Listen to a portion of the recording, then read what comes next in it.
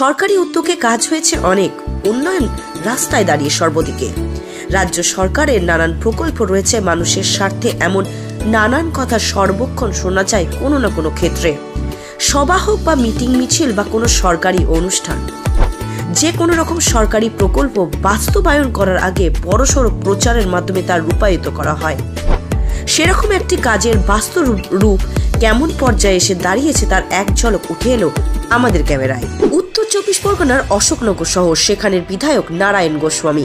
মাসখানেক আগে নৈহাটি রোডে সৌন্দর্যায়নের স্বার্থে বেশ কিছু গাছ লাগান তিনি। পাশাপাশি দীর্ঘক্ষণ চলার পর কোনো পথচলতি মানুষ, বাইক বা সাইকেল আরোহী দুদণ্ড দাঁড়াতে পারে ছায়ায়, সে কারণেও গাছগুলি তিনি লাগিয়েছিলেন। তবে কিছুদিন হওয়ার পর একটি গাছও আর বেঁচে নেই।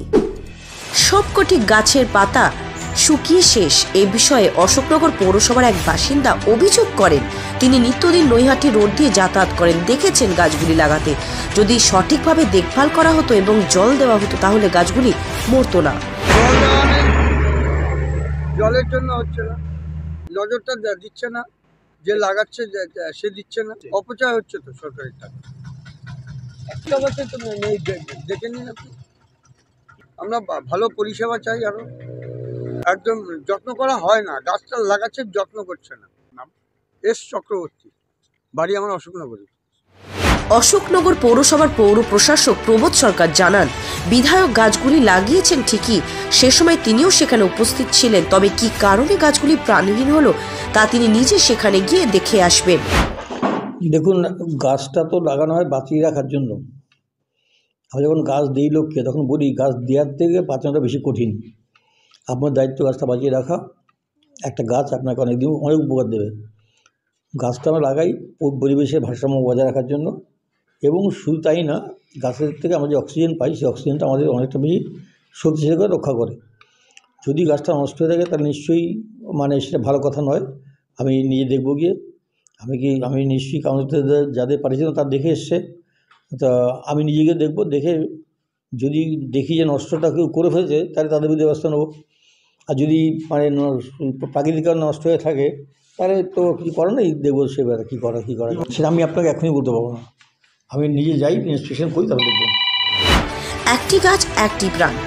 গাছ লাগান, প্রাণ বাঁচান। এমন নানান বার্তা আমরা ছোট থেকেই পরিবেশ বিদ্যা নিয়ে পড়াকালীন শুনেছি। সঙ্গে কীভাবে পরিচর্যা করতে হয় সেই বিষয়গুলোও জানা আছে। গাছগুলি লাগানো হলেও এমন শুষ্ক আবহাওয়ায় জল পড়েনি একটুও। সেগুলি পরিচর্যা করার মতো কেউ নেই। আর সে কারণেই গাছগুলি নষ্ট হয়ে যায়। এ বিষয়ে শ্যামলন্দু দে, যিনি অশোকনগরের বিজেপির মণ্ডল সভাপতি, তিনি জানান, সঠিক পরিচর্যার অভাবে এমনটা হয়েছে। সরকারিভাবে গাছগুলি লাগানো হয়ে থাকলে তাতে অপচয় করা হয়েছে সরকারি টাকা বলে মন্তব্য করেন তিনি। তবে ব্যক্তিগত উদ্যোগে হলে সেই বিষয়টাতে নিয়ে তিনি কিন্তু মন্তব্য করতে চাননি। এখন দেখার বিষয় এটাই আদপে পুনরায় গাছ লাগানো হবে নাকি অন্য কোনো ব্যবস্থা নেওয়া হবে সৌন্দর্যায়নের জন্য পৌরসভার পক্ষ থেকে? প্রথম কথা হচ্ছে এটা একটা অনভিজ্ঞতা। গাছ আমি ব্যক্তিগতভাবে ছোটোবেলা থেকে গাছপালা করি। আমার হাতে লাগানো অশোকনগরে প্রচুর গাছ রয়েছে। এবং এই সিজনটা কখনোই গাছ লাগানোর পক্ষে শুভ নয়। এটা ড্রাই সিজন, এখন মাটিতে রস নেই। গাছ লাগাতে গেলে তার যত্ন অন্যরকম করতে হবে জল দিতে হবে পর্যায়ক্রমে জলের ব্যবস্থা রাখতে হবে। আর অনভিজ্ঞতার ফলে এই গাছ লাগিয়ে যে ক্ষতিটা জানি না আমি সরকারি পয়সায় হয়েছে না ব্যক্তিগত উদ্যোগে হয়েছে যদি সরকারি উদ্যোগে হয়ে থাকে তাহলে এই গাছ লাগানোর ব্যাপারে কাজটা ঠিক হয়নি। আর ব্যক্তিগত তার ইচ্ছে যদি লাগিয়ে থাকে সেটা তার ব্যক্তিগত বিষয় সেখানে আমি মন্তব্য করতে চাই না। কিন্তু বিষয়টা হচ্ছে আহ, আমার মতন অভিজ্ঞ লোক, তাদের যদি এই গাছ পরিচর্যা লাগানোর ব্যাপারে দায়িত্ব দেওয়া হয়, তাহলে গাছের সঠিক প্রাণ ফিরে পায়। একটি গাছ একটি প্রাণ, এই কথার অর্থ বুঝতে হবে। এবং গাছ লাগালেই হবে না। গাছ লাগানোটাকে পরিবেশ দূষণ রোধ করতে বিশেষ বিশেষ গাছ, বিশেষ বিশেষ রোড সাইডে লাগানো উচিত। রোড সাইডে প্ল্যান্টেশনও একটা তাৎপর্যপূর্ণ বিষয় রয়েছে। সব গাছ সব জায়গায় লাগানো যায় না বা হয়ও না। তো সেই কারণে আমি বলব এটা অনভিজ্ঞতা কারণে এই মৃত্যুর মিছিল হয়েছে গাছের। না ব্যাপারটা ব্যাপারটা দেখুন অরাজকতা আমি বলব না অনভিজ্ঞতা বলব। কিন্তু জল অবশ্যই দিতে হবে জল। ড্রাই সিজনে গাছ লাগালে প্রতিদিন গাছের গোড়ায় জলের ব্যবস্থা করতে হবে। সেখানে ইনভেস্টমেন্টটা অনেক রকম বেশি হয়ে যায়। যেটা বর্ষার সময় যেখানে সঠিক সময় আর কি গাছ বৃক্ষরোপণের সেই সময়টায় লাগানোটাই আমার মনে হয় শ্রেয়। নাহলে পণ্ডশ্রম ছাড়া আর কিছুই পাওয়া যাবে না এর থেকে। সব গাছগুলোরই মৃত্যু হবে।